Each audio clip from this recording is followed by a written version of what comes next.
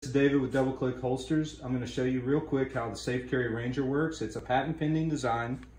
Show that we're clear.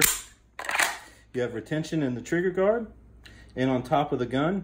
And it is a thumb break design, so you'll slide the apparatus over like so.